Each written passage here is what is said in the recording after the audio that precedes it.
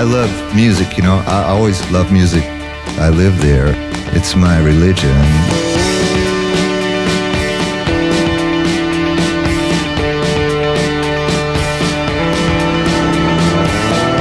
Well, she was an American girl, raised on promises. Because sometimes the commercial road isn't always the road to take. Sometimes it's doing stuff from your heart.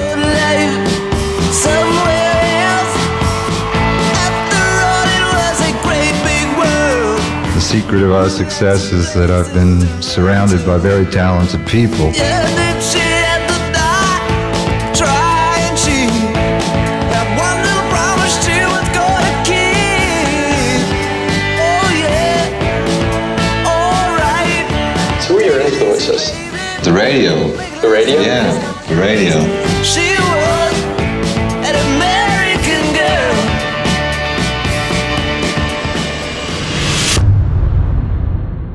Rock and roll is probably the purest mainstream manifestation of the American dream.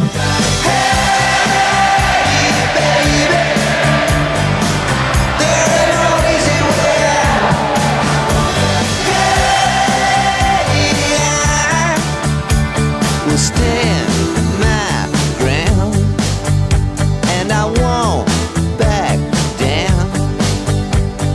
This is a wonderful music that we're all involved in. It's liberated so many people in this world. At its best, it really is a true magic.